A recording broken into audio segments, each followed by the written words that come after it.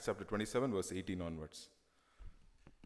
Because we were being severely battered by the storm, they began to jettison the cargo the next day. On the third day, they threw the ship's tackle overboard with their own hands. For many days, neither sun nor stars appeared, and the severe storm kept raging. Finally, all hope was fading that we would be saved.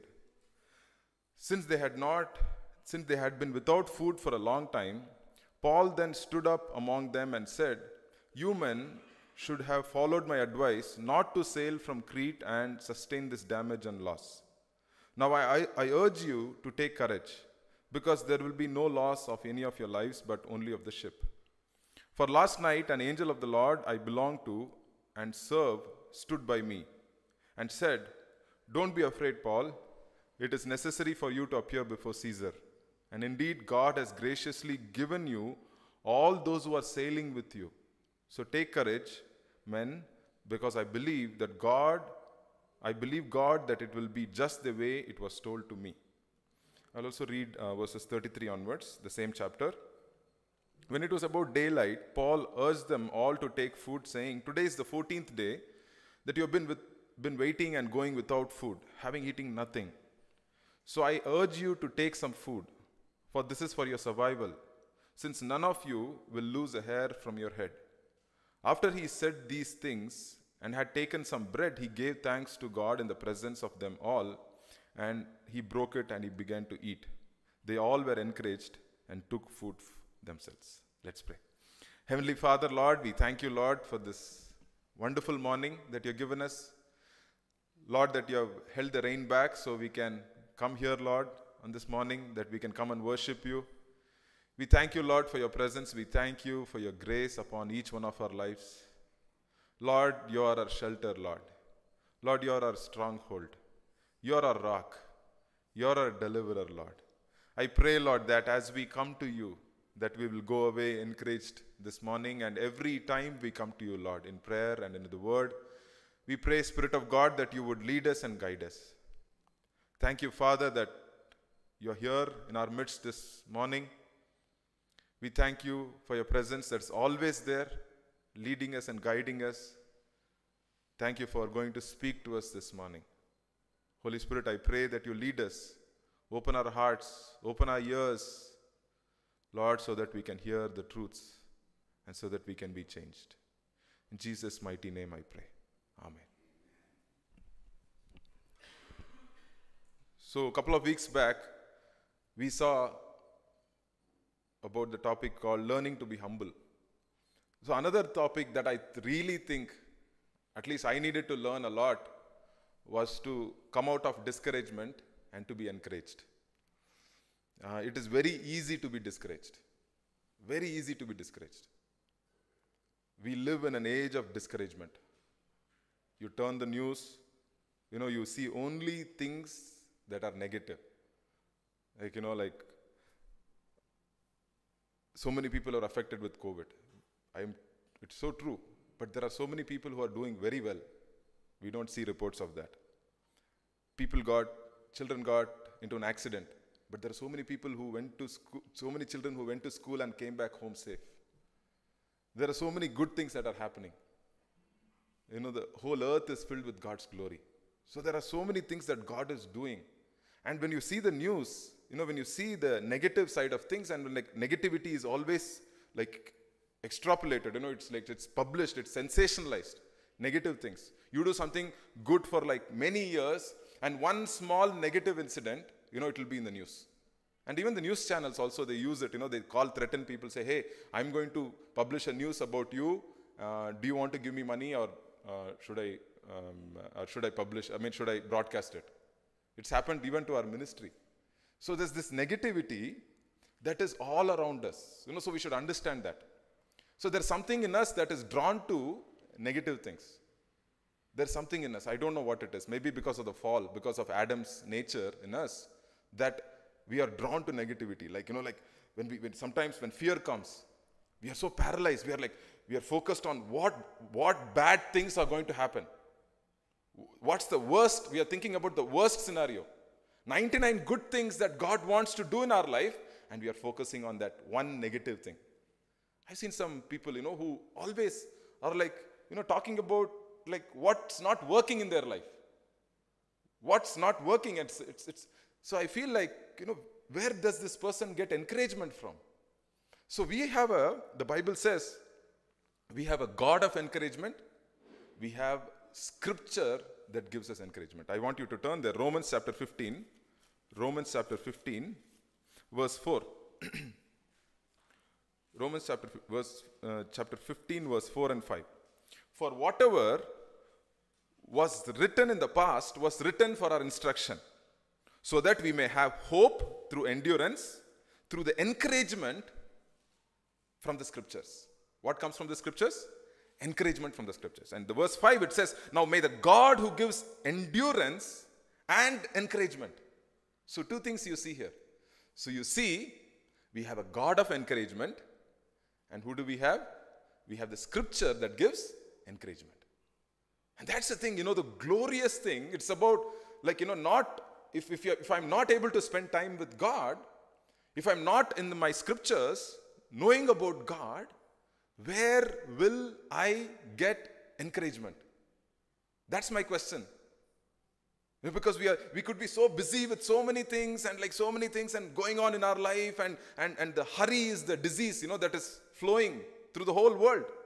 Hurry is a disease, I would say. Like we are always in a hurry. We're like always busy. And and when we are in hurry, like you know, you see the, the, the, the reports that come out of the Western world that has the highest amount of wealth, it has the highest amount of education, highest amount of resources, the infrastructure, everything is the highest in the Western countries. But you also see the highest amount of discouragement, the highest amount of depression, the highest amount of fear comes from there. And so something is not right. Something is not right. So, so here we have a God who says, Hey, I want to lead you, I want to encourage you. And we have God's word, which is, it says, it's, it's, very clearly says, the Bible says it's all written, everything is written. It says, for who? For, for what? For your encouragement, it says. For my encouragement. So every time I'm, I'm discouraged, by the things that are happening in my life, the things that are happening around my life, what people are trying to do in my life, what I get into trouble sometimes, you know, there is this discouragement. And, and then we come to a God, you know, who says, hey, I want to encourage you. So today, this morning, you know, when I say learning to encourage, it also means two things. It's learning to receive encouragement, and when I learn to receive encouragement, I can encourage other people. So, so that's the most important thing. So we are going to split this message into two. The first part will be learning to receive encouragement from God and from His Spirit and from His Word. And the second part would be how I can be a channel of God to give encouragement to other people. Okay? So that's two things we want to see today.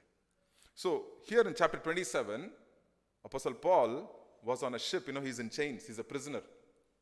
He's in chains he, along with 267 people on this huge ship, they're traveling. They were supposed to travel, it was supposed to be a uh, half a day trip, you know, from Crete to, uh, to another place, you know, from, from uh, I am not getting that name. It's from that island, Cyprus Island, from one point to another point. They said, let's, uh, let's go to this place, you know, hang out for three months because the winter is bad and you know the Mediterranean Sea, it's known for bad winters and like the waters are very troubled waters. So they're supposed to go to a short distance around the, like let's say for example, like like Trivandrum to Chennai. You know, it's like almost like that.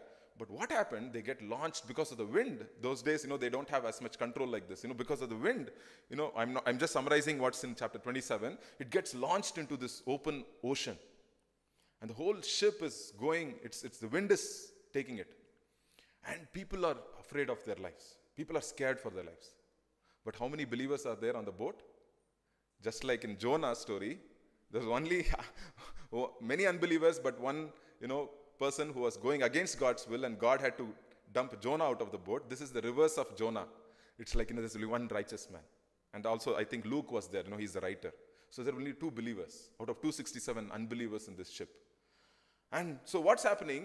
people are trying to save themselves people are trying to do all these things but the boat is the ship is going deeper and deeper into the ocean it's going completely opposite direction and the winds and blowing and, and they are not able to uh, manage their life and so they are full of fear full of fear now And then the Bible says, you know, for many days, neither sun nor star appeared.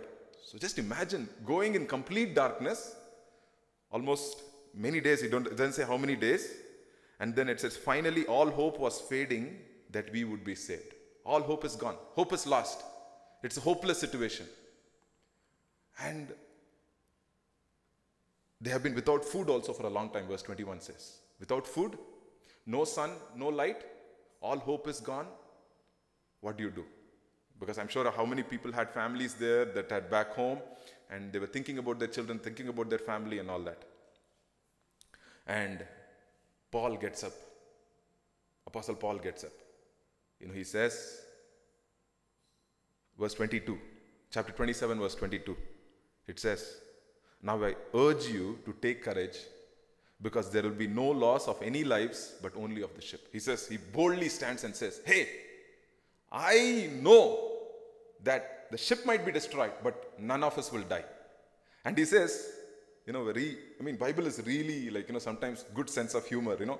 Take courage, he says. Be of good cheer, he says. What?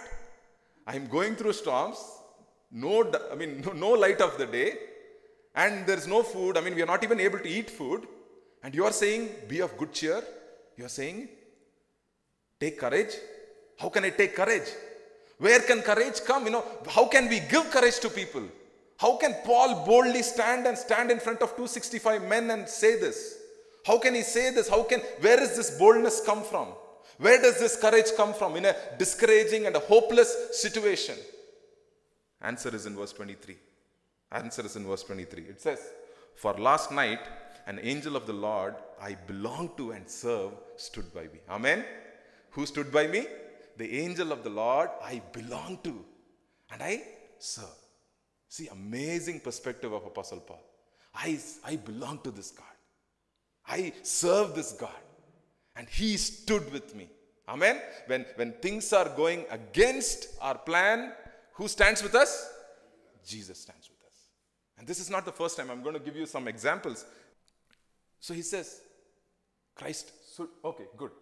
Um, he stood with me. And it says, God told me I have to stand before Caesar. See, God's plan for us, you know, in the storm is something beyond our understanding. We cannot understand. So, so the storm is going on and all these things are happening, and God is saying, Hey, this is my plan for you. You have to stand in front of Caesar. Who? Nero. Nero was the emperor at that time. You have to stand in front of him. And so all the fear is gone because he knows that God is going to make him stand. And then also God says another thing God has graciously, graciously given you all that are sailing with you. You know, that means like, you know, I am going to save the life of this. How many people? 265 people. So because of one righteous man, how many people are saved? 265 people are saved. Because of one righteous person in a family. Because of one righteous person, a nation can be changed. Because of one righteous person, a colony, a neighborhood can be changed. And takes only one person, dear brothers and sisters. Many times we think, oh man, I don't have anything. I don't have anything to do. Yes, you qualify. When you say, I, Lord, I cannot, that's when you qualify in God's kingdom. When you think that you have something to offer to God, that's a very dangerous place to be in. When you say, Lord, I have nothing to offer, that's when God calls you. It's like, okay, I can choose you now because you have told, you have given the password. The password is, Lord, I have nothing to offer. I need your strength. And so, Paul here, you know, he was afraid. Because verse 23 it says, verse 24 it says, Don't be afraid, Paul. I mean, the great man of God, he was afraid. Obviously, when you have uh, troubles in life, and you have storms in life, and your things are going not according to plan, there will be fear. There will be fear. Fear is fear is not something that you know that that is like oh Christians oh you, oh are you fearful oh you, are a Christian and you have fear. That's that's silly. Because here Apostle Paul had fear because that's why God's God comes he stands there and says don't be afraid Paul because Paul was afraid. So there's a fearful Paul.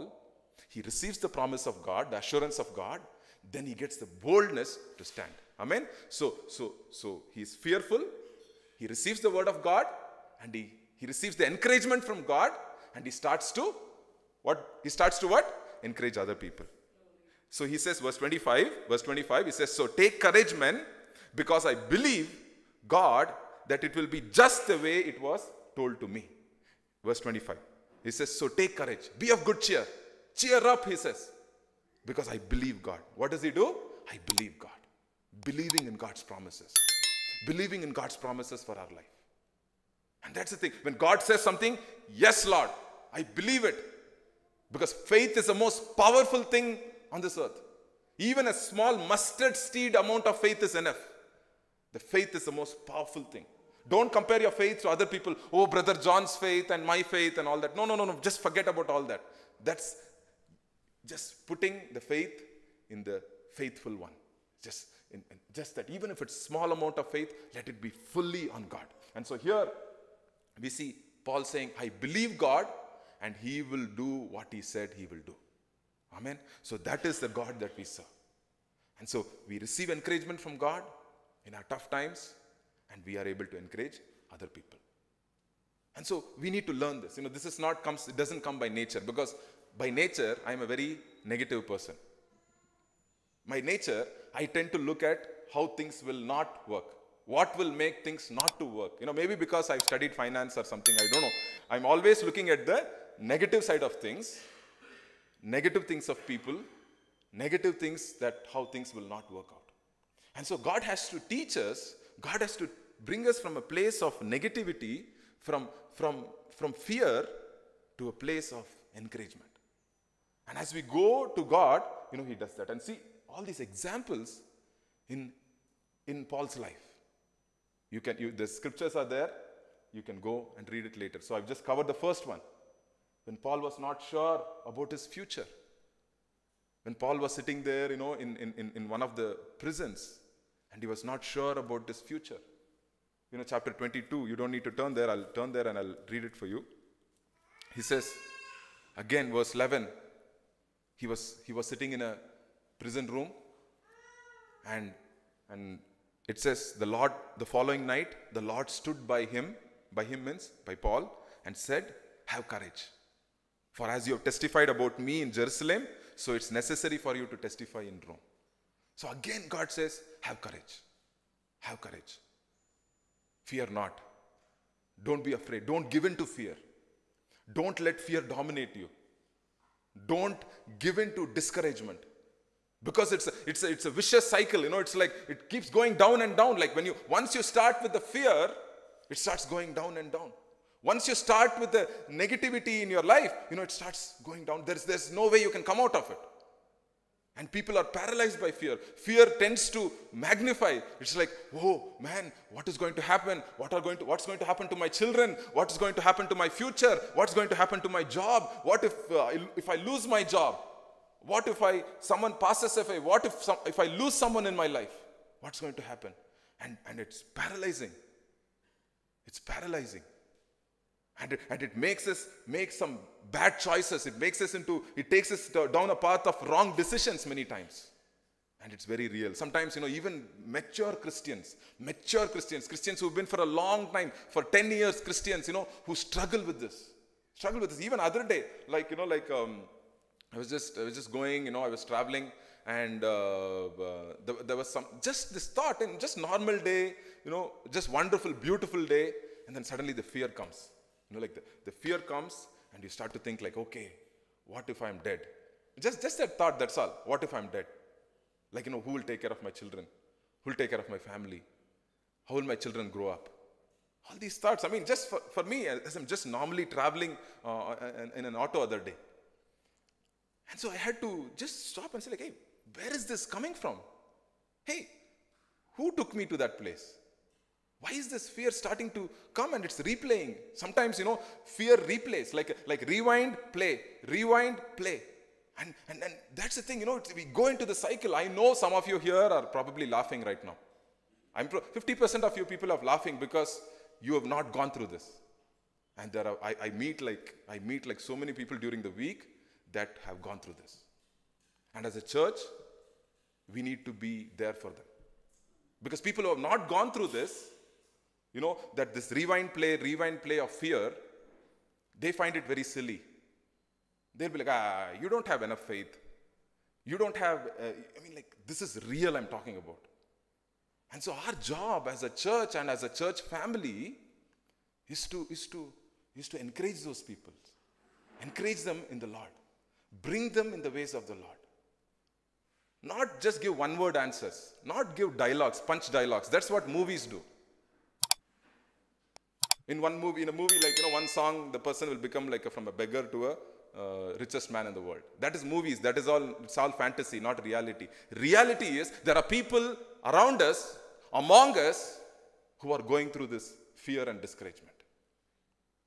And, and, and as a church, it's our responsibility, as a people of God, it's our responsibility to walk with them.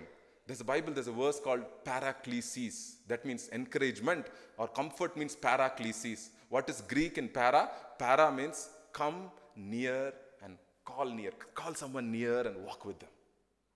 What's the Holy Spirit's job? He's a parakletos, that He comes and He counsels us. And that's the thing, dear brothers and sisters. You know, here we see Apostle, Apostle Paul receiving encouragement repeatedly in his life. When it's, a, when it's at the lowest point of his life, when he, when he was like, you know, when he was trying to, he, he got an opportunity to speak in front of Jewish people. And he got an opportunity and he's like preparing because in Romans chapter 9, you don't need to turn there. It says, I have a zeal for God, for my brethren, for my Jewish brethren, that I will, I will be cursed so that they can know God. He has such a passion for the Jewish people, for his countrymen to know God. And finally, he gets this opportunity to share about all the, before the Jewish leaders, the high priests and all. And at that time, he blows it. Like, you know, he, he, he, he said something and then there's a big uh, drama that happens and riot that happens. He could not finish his message. He could not finish his sermon. He could not finish his evangelism. And at that time, you know, chapter 23, verse uh, 11, the, that's when, you know, like uh, 23, verse 11, that's when I read that passage. He said, Have courage. God said, Hey, it's all right. Everything is going to be okay. It's all right. Take courage. This is our God who's saying this. He's saying this, take courage. You know, he's saying this to Paul, he's saying this to us, to, to each one of us here. And, and that's the thing. Paul was, you know, another time, you know, chapter 18, you know, Paul was afraid of attacks. You know, because he was in, in a city called Corinth, and the city of Corinth, you know, there's, he's repeatedly been dragged and beaten and bloody, and he's been beaten 30, 39 times on the back, bloodied back, you know, still not healed. And he comes to another place, and they beat him up again, and they're waiting to kill him the next day morning. And at that time also, God said, in chapter 18, I'll, re- I'll read that, you know, chapter 18, it says, Don't be afraid. Again, see, don't be afraid. To Apostle Paul, this is God speaking to Apostle Paul a man of faith, a missionary. He says, Don't be afraid, but keep on speaking. Don't be silent. For I am with you. No one will lay a hand on you to hurt you. Amen. So it says, Don't be afraid. Keep on speaking. Don't be silent, for I am with you, and no one will lay a hand on you. And he could have said, Lord, then why didn't you protect me in all the past three cities? I was beaten like black and blue. But now you're coming and saying, Lord, no one will lay a hand on you. No, he didn't ask that. He didn't ask that question. He didn't give to negativity. He didn't look at us. He could have immediately said, you know, if I were at Paul's place and God said, nobody will lay a hand on you, I would have immediately said, Lord, what about last week? What about last month? Why did they beat me up? And that's the thing here. Apostle Paul says, he, and then the verse 11 it says in chapter 18, he stayed there year and a half teaching the word of God among them. Amen? He's teaching the Word of God. He's going on teaching year and a half, putting time to teach the Word of God. And that's the most important thing to teach the Word of God. And when, when in my life, my life changed when I started to put time into the Word of God, to, to know the Word of God, to know the God of the Word and the Word of God. And, and, and that's when something's happening. The Holy Spirit is working and this changing. There's like there, there's so many things that's emotional things, the baggages, everything is starting to go away. The hurts and the fear and the and the, and the, and the discouragement and the negativity, it's all starting to go away. And you're feeling this new freedom in Christ. And you're starting to free, and then your relationships are getting better, your family life is getting better, your personal thought life is getting better, and you're like, what am I doing? There should be something that is changing me. And that's the word of God. Like I said, you know, the scripture, the encouragement that comes from scripture. And when we are, are, are, are going to the source of encouragement, when we are going through the source of encouragement, we will be encouraged. And whatever that situation, like you see, specifically, God is speaking to Paul in certain instances. When, he, when he's fear, when he's full of fear, God says, don't be afraid. When he's, when he's down in courage, God says, take courage. Amen. So God knows there's a word for you specifically for each day. Specifically for each moment that you're going through, there's a word that God has for you. And that's why, you know, when we go to God's word, we are like, Lord, what is it that you want to speak to me today? What is it that want to tell me, Lord, today? And when, when that word of God comes and, and, it, and it comes and he, he comes and he speaks to you and you know eh, he, he's coming and he's working in you, and he's like, wow, man, thank you, Lord. And you can go on, you know, go on with that day. And so, so there's also another thing, you know, if you go to the next slide, you know, not only, not only Apostle Paul, look at the life of Jesus. You know, every time I like to go to the life of Jesus. You know, it's when last time when we talked about humility, where did we want to learn humility? From Jesus. He said, Learn from me. And also, Jesus, you know, Jesus many times he said, Take courage or be of good cheer. Take courage or be of good cheer. I mean, what an amazing statement from Jesus. And, and, and this is very, very important that we notice, like in Matthew chapter 9, verse 2 and 22. You know, Matthew chapter 9, verse 2 and 22, if you see there are two people who are, who are, who are broken in their life, you know, like hopeless. Again, that hopeless situation. Discouraged, probably. He says there's a, a paralytic lying on a stretcher. Hopeless, right? A paralytic man lying on a stretcher. Seeing their faith, the people, the people, the faith of the people who brought this paralytic man, Jesus told the paralytic man, "Have courage, son. Your sins are forgiven." Amen. Psalm 32 it says, "How happy is the man whose sins are forgiven." How happy is the man? How blessed is the man whose sins are forgiven. That is the greatest joy in our life. That all our past, our regrets, our failures, our, our disappointments, our losses, God is wiping it clean and says, Hey, I want to give you a new start. And, that, and that's the thing, you know, Jesus says, Hey, I want to give you a new start. Your sins are forgiven, be happy, be cheerful. And that's what Jesus says. And then the same chapter, verse 22, same, same chapter, verse 22, again, this, this lady you know, that, that she has this bleeding issue for 12 years. She says, If I touch his robe, I'll be made well. Jesus turned and saw her. He said, Have courage, daughter. What did he say? Have courage, daughter. And in that, uh, in, the, in the verse 2, what is Jesus saying? Have courage, son. So, so he's covered everybody. He says, Have courage, son. Have courage, daughter. I mean, what would, uh, will you believe it only when Jesus comes in front of you and physically says that? Or do you want to believe it today by faith? He says, have courage. Have courage. I mean, courage is one of the, the beautiful things, you know, when it is come from, when it comes from God.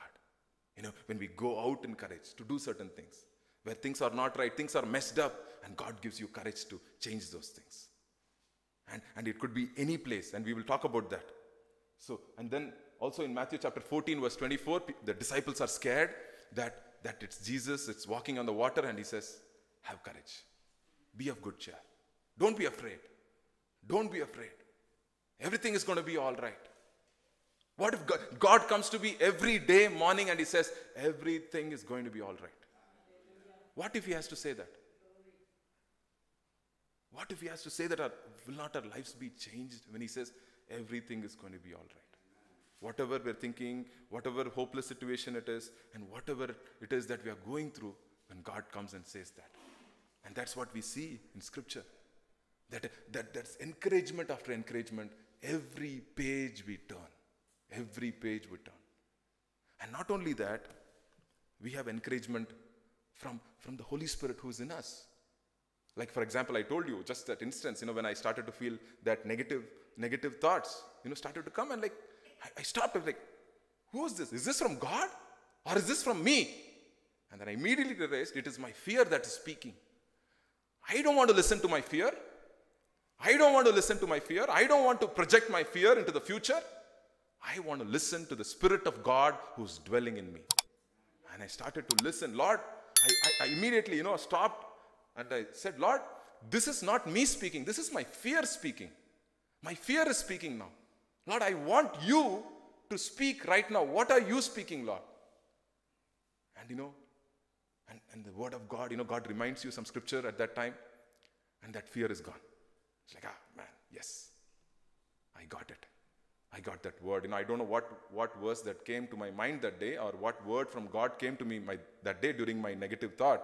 You know, is that, that one thing I know that I was so filled with joy. I was so filled with assurance. That's all it is, right? I mean, it, it's gone. I didn't let, let the fear play on. I didn't let the fear rewind and play, rewind and play. I didn't do that because we have an encouraging God, a God who's encouraging us, who's leading us and guiding us.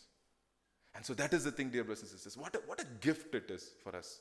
You know, what a great gift it is to have a God who's encouraging us, the Spirit of God who's in us, who's leading us to the truth, and we have a bunch of people around us who are encouraging us. I mean, I mean, just what could what more could we ask? And that's the thing. Don't give in to fear.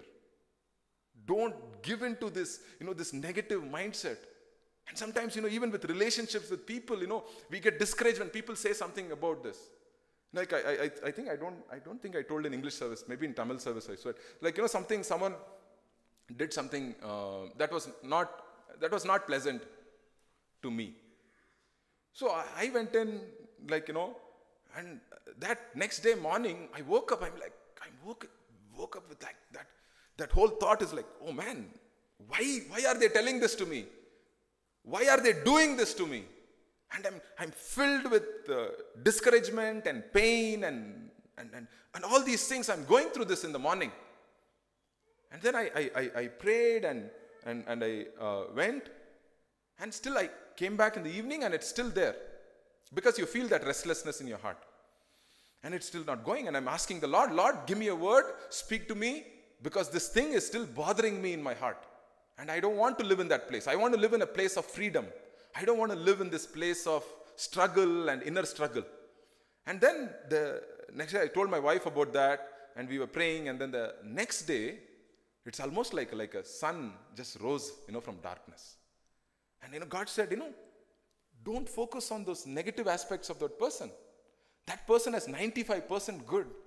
There are 5% that's probably something and he attacked you, he said something to you. Focus on the good. Focus on the 95, not on the 5. And then I started to think, okay, yeah, I mean, that person is a good person. And I was so bitter against that person because I was focusing on the 5% that was negative. And that's the thing, you know, and I was able to immediately come out of it because of the encouragement that God gives. God gives to, God tells us, you know, focus on the good. Focus on the good. And fear also does. What, why do fear comes? Because we focus on the bad, the focus on the worst case scenario. We focus on what could go wrong. And that's what happens. And uh, here also in, in, in John chapter 16, verse 33, the, the disciples are fear. I mean, full of fear because Jesus is going away. He said, I'm going away to my father's house and I'll send someone to you. And they are full of fear. But he says, Be of good cheer, for I have overcome the world. Be of good cheer, I overcome the world. And this is the thing, dear brothers and sisters. So, as we are walking in the Lord, we receive this nutrition every time. We need this nutrition. We need this spiritual strength from Him every moment as we are walking, as we are working, as we get into this mode of fear or we get into this mode of discouragement. We need, that's the time we are most vulnerable. Because the time of fear and the time of discouragement, anything can, go, anything can happen. We can make some wrong decisions. We start to uh, sit there and we are we, our mouth will start talking some things and we will start uh, thinking that things about my past that used to happen, especially the triggers of my past. Like, you know, um, mm, something has happened in my life in the past and, and, and I see this. Oh man, will that thing happen again? That fear will come. Will that thing happen again? I experienced this 15 years ago and will that thing happen again? Again? And see, that is the thing, it's paralyzing. It is paralyzing. So, so we have a God who's encouraging us. Like I gave you examples of how Apostle Paul was being encouraged at the lowest point in his life, at the time when he was about to be attacked, at the time when he was in fear. And we see Jesus, our encourager, you know, he's encouraging people saying, hey, be of good cheer, take courage, and all that. Okay, so now we come to the next part, the second part of the message. The first part is we know that we are being encouraged by the Holy Spirit, by God, by scriptures, and people around us. Okay? And the next thing is uh, next, next slide, please, is to encourage one another. Can you go to the next slide? So, encouraging one another. Okay, so this is God's call to God's children. Why? I mean, God's not saying, hey, you encourage people. No, you are already encouraged. It is more better to give than to receive. so you already received, now you are starting to give. Now you are an encouraging. You are, you are, God is saying, hey, I have encouraged you. Now go be an encourager. In 1 Thessalonians chapter 5, verse 11. Let's turn there. 1 Thessalonians chapter 5, verse 11. This is to God's people, children of God. It says, therefore, encourage one another and build each other up as you are already doing. Amen. So they're already doing it. It's a, it's a good church. You know, Thessalonian church is a good church. And so it says, you know, you're already doing this, keep on doing it. Why do we need to encourage people? Answer is there only. So we can do what? What happens when we encourage people? It's in the same verse, people.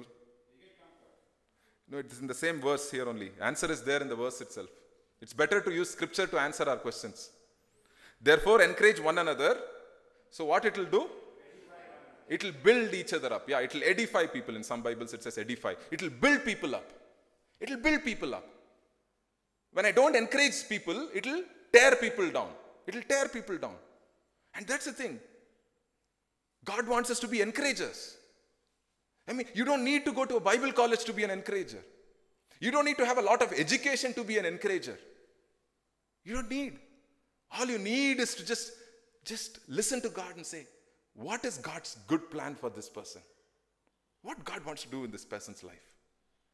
A few weeks back, when brother came, he was talking all about what is not working in his life. He was talking about, oh man, I prayed and this thing didn't happen, and this happened, this didn't happen. He was all discouraged. And I started, because I knew him for some years, so I started talking about what God has done in his life. I said, hey, look back 10 years ago. Look back five years ago. All those negative confessions he had made to me. He's like, you know, this will not work. This will not happen. In my life, I'm like this only. I'm like this only. He said this, all this. So I started to remind him, hey, didn't you tell this? And where are you today? Has not God done great things? And he's like, yes. And the second point also said, I, I can't go into detail because it's a personal conversation. And so, and he, he, I said like, hey, in 2015, did you say, didn't say this? Didn't you confess this one? I remember when I spoke to you. And has not God taken care of it? And he said, yes. And he went with a joyful heart. That, that fear is gone, that discouragement is gone. Because what we want to do is we want to encourage people to build each other up, to build them up. And that is the thing that that's very hard for me to learn. It's very hard for me to learn. Only when I when I bite a stone when I'm eating the food, I'll feel like, oh man, this rice is so bad. But I would have eaten that same rice for many years. But when that stone comes once, you know, when I'm chewing on the food, it's like I'm getting full of anger. And that's the thing. When we compliment people, we'll say, Oh, brother, I don't want to encourage that person. He, he will become puffed up. We have that. No, I want to speak the truth. I will give only reality. I will give only reality checks. I don't want to encourage people. And that's the thing. But, but we are so selfish in that. Because God is a God who's encouraging me day and night, and I'm not willing to give even little bit of encouragement to another person. That's a very dangerous place to be in again. It's like I'm receiving all and I don't want to give. And that's the thing, dear brothers and sisters, that we, Bible has called us, children of God, are called to encourage one another. And I will tell you, like, you know, if you are, if you have a starting problem with encouragement, I will give you some tips. You know, this is how I got started. So it might be useful for you, right? And so the second thing is there's a gift of exhortation. Gift of exhortation, Romans chapter 12, verse 8. Let him who exhorts, exhort, like, you know, um, Romans chapter 12. Romans chapter 12, verse 8, right? If exhorting, in exhortation. So that is one of the spiritual gifts. It's like, you know, Lord, give me this gift of encouragement. Give me this gift of encouraging other people. And also in, in, in, uh, in um, Acts also, chapter 14 and uh, chapter 11 and in chapter 4 also, I will wrap up very quickly, you know, uh, it's already time. is that there is this man called Barnabas. You know what is? His another name is? He's a man of encouragement. His name itself is a man of encouragement. I mean, I want to meet uh, Barnabas. I want to get all the dialogues that he has. Brother, how do you encourage people, brother? How do you encourage other people? I mean, he used to go, you know, he used to go to places and he used to encourage people like anything, you know. And, and uh, when people are down, you know, people, they used to send, uh, um, um, uh, send uh, Barnabas and he'll start, you know, encouraging people. And in verse uh, chapter 11, verse 23, Acts chapter 11, verse 23, when Barnabas arrived, he saw the grace of God. He was glad and encouraged all of them to remain true to the Lord with devoted hearts. Again, he comes there, he, he, he, he comes there and he encourages people. In fact, Barnabas is one of the important men who brought Apostle Paul into ministry. Apostle Paul, you all know, Apostle Paul got converted on that road to Damascus and uh, he got a calling. And then three years he went to Arabia and then he comes and like people reject him and he goes back to his hometown. He goes to Tarshish. That's where he was born. Because people rejected him. Nobody wanted Apostle Paul. Because they were afraid. The church was afraid of Apostle Paul. Because like, hey, may, no, he's maybe, uh, he's a fake convert. Maybe he's trying to kill us by saying that Jesus' name. Because he was a murderer, right? Apostle Paul murdered so many Christians. So, so he was sent back. And you know who went and got Apostle Paul back? Barnabas. When he went to the church in Antioch, he goes and he knocks on. He, it says, the Bible says, he went to Tarsus to search for Paul. Who went in search of Paul? Barnabas. A man of encouraging man. A man of encouragement. So, my dear brothers and sisters, I mean, this is a this is a very crucial aspect of our life. You know, just like I spoke about humility, being humble, learning to be humble, we all can learn to be encouragers. We all can learn to be encouragers.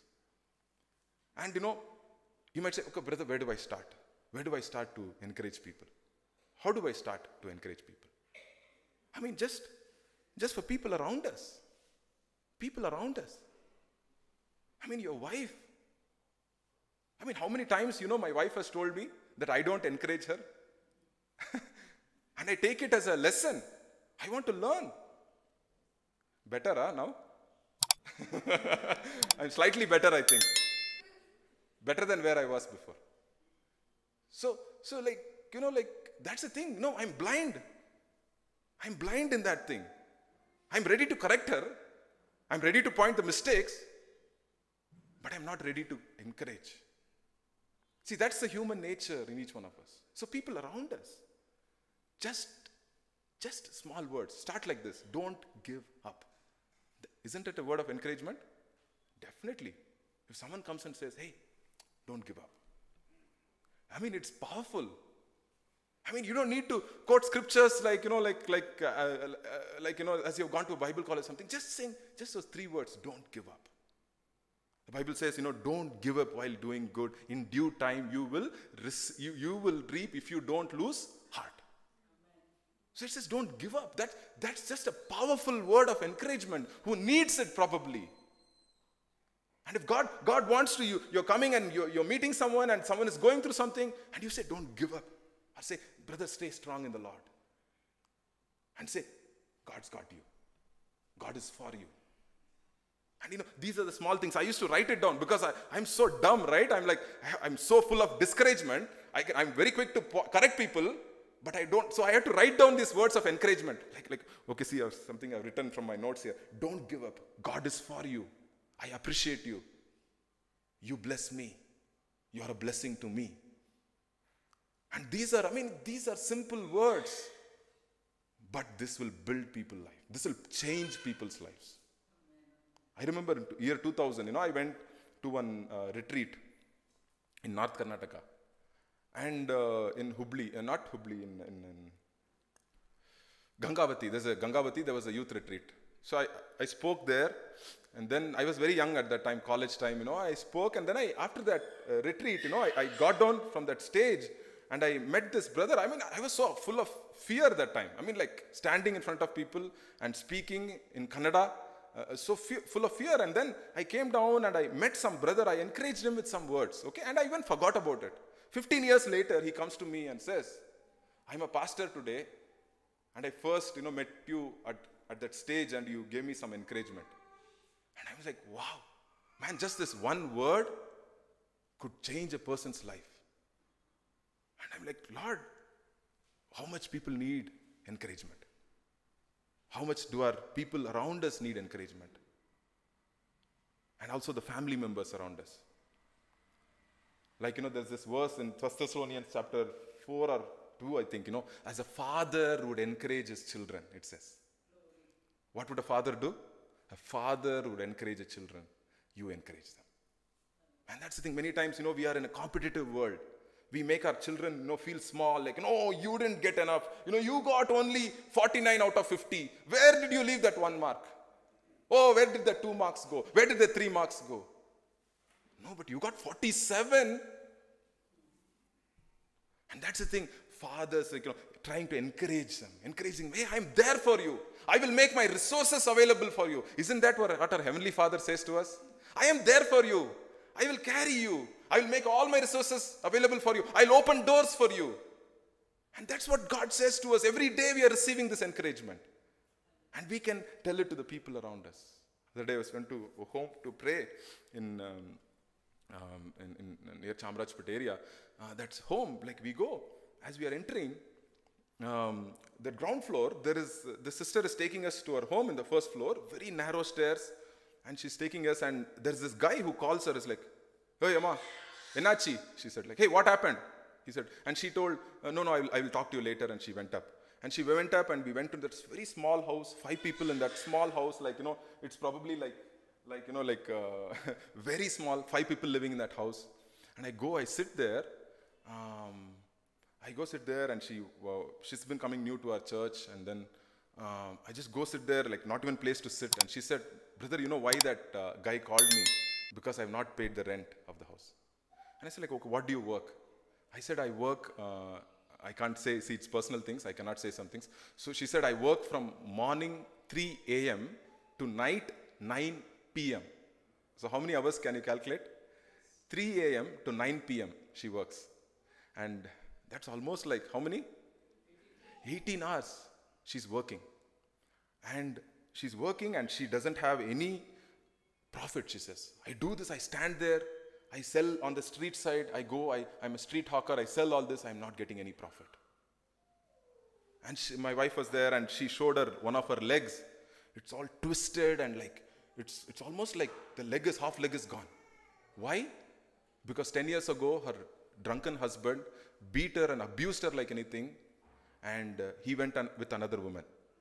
And he died five years later, you know, committing suicide. So she, she, she's 10 years ago, she had to raise four children, three boys and one girl.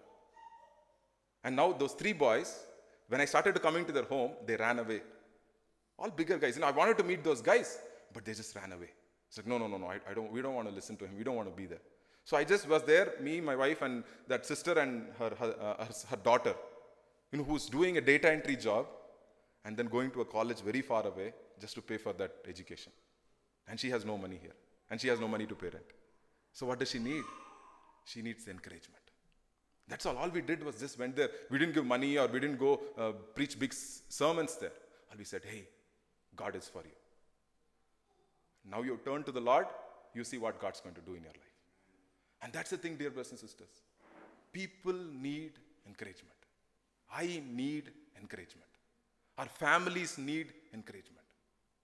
And I want to really, like, you know, like uh, appreciate those women, you know, who are working like that, you know, because of all the things, negative things that have happened in their life. And there are so many people who are struggling, like, especially in the five in the morning when you wake up. I hope you wake up. uh, when you wake up, you know, at five in the morning, you see all these ladies who are walking in the streets. Like, you know, they're, they're all busy. They're, they're not even turning anywhere. They're just walking. And you know who they are? They're maid servants. They're maid servants, you know, who are working and, and going to their houses that they're supposed to go at 5 a.m. They're going and they're trying to wash dishes and clean the homes and then come back home and cook and then take care of their children. So many people, so many women right in front of us. And sometimes, you know, I want to stop them and say, Thank you. Thank you, not because you did something for me, thank you for what you do. Thank you for what you're doing for your family. Thank you for you carrying the burden of your family. And even in our church, you know, people who come and serve us, you know, like I want to say thank you to them also. Thank you to the people who come and serve, you know, selflessly. They could do so many things. They could come, you know, uh, late to church or whatever it is, but they come early. They come and they serve and they and, and they play and they and, and then they do the sound system and the and the and the and and the, and the streaming and all these things. People who come and wash the church, and you know they need encouragement. We want to say thank you to them also. We want to say thank you to the mothers. We want to say thank you to the fathers. In, in a cutthroat workplace and like you know competitive world, you know we want to say thank you to them.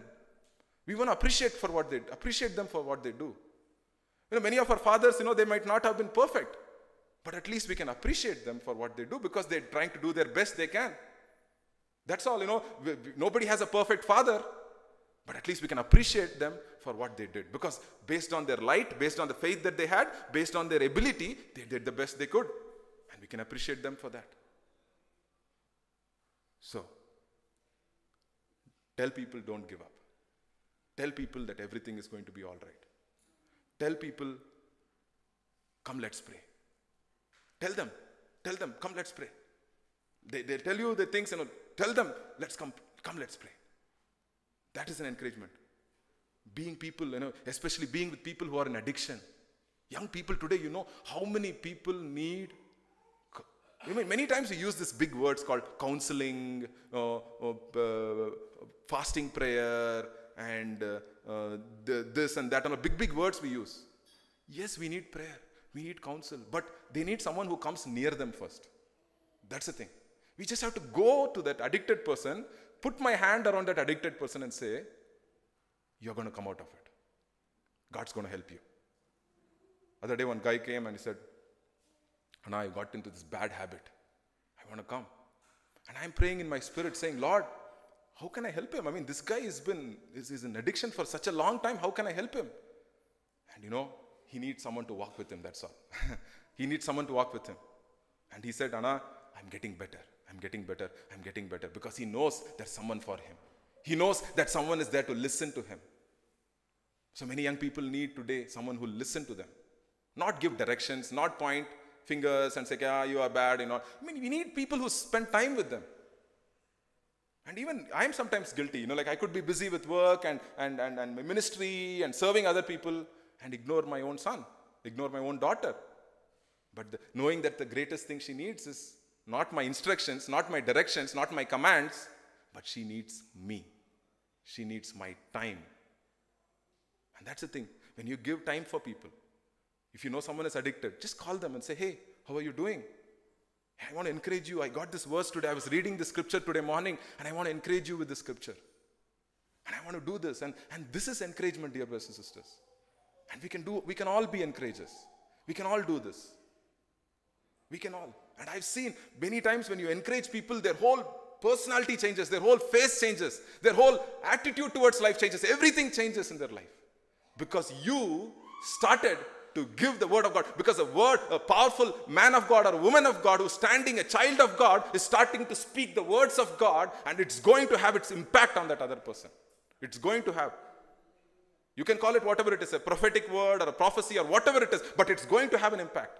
But don't just do it without your heart in it. That's the thing. Many times, you know, sometimes we prophesy, but not even just, just knowing anything about that person. But walk with that person. Prophesy daily prophesy over that person and say, Hey, I've been praying for you. This is what God's speaking to me. Hey, come, let's go pray. Don't give up today. It's all right. And all these things, you know, when we when we are when we are also involved in those people, not being very detached, but being involved in people's lives. To, to love them and to care for them and tell them to not give up. Because we have a God who's doing that to us every day. Every moment He's doing that. So, two things we saw today. Remember we have a God who's encouraging me every moment. We have the scripture that is encouraging us. So God is calling us to be encouragers. So, but is it going to come naturally? No. Like me, you probably have to write down some, some things like don't give up. God is for you. I appreciate you. You are a blessing. God's got you. And, and things like that. You know, start, you know, start, learn, learn to be an encourager. Start with your family members. Go tell your wife today. That's the hardest place to start, I know. So start with your friends. I know you can start with friends and then end with your wife and end with your wife or husband. I mean, sisters have a gift of uh, being good encouragers. It's brothers, you know, who have a lot of learning. So we need a PhD. Sisters just can go to high school in encouragement and they can finish. So let God encourage you today. Allow Him to encourage you so that you can be an encouragement. Okay? And you can build each other up. That's how we build God's church. That's how we become a people of God. When we start to encourage one another. Same thing. It's so blessed to give than to receive. Who said that? Jesus said that. So, Heavenly Father, Lord, we thank you, Lord, for this morning. We thank you for your blessed assurance. We thank you for your encouragement, Lord. Every moment, Lord, in our darknesses, in our storms, in our pain, in our suffering, in our lowest point in life, in our failure, you have brought us so far, Lord. You have encouraged us. Thank you, Lord. I thank you for what you do. Heavenly Father, Lord, we invite you today into our hearts. Spirit of God, you fill us. Fill us with your love. Fill us with your kindness and gentleness. Lord, help us to also, Lord, as we learn encouragement from you, as we receive that gift of encouragement from you, help us to be encouragers. Help us to build people up. Help us to lift people up, Lord. Lord, thank you, Lord, that you have been with us through everything. Thank you that you're going to be with us. And thank you that you're going to be with people who we meet, Lord, on a daily basis. Lord, I pray that your spirit of encouragement would be poured out abundantly, Lord, on each one of us. Help us to learn from you, Lord. Help us to look to Jesus and learn. Help us to look at people's lives, how you touch people's life through your encouraging word. We commit each dear brother and sister into your hands. Anybody who's discouraged here, Lord, I pray, Lord, Holy Spirit, that you come and touch them that they will not listen to their fears, but they will be of good cheer and take courage as Jesus Christ has told us. Thank you, Lord. Thank you for your presence this morning. In Jesus' mighty name I pray. Amen. Amen.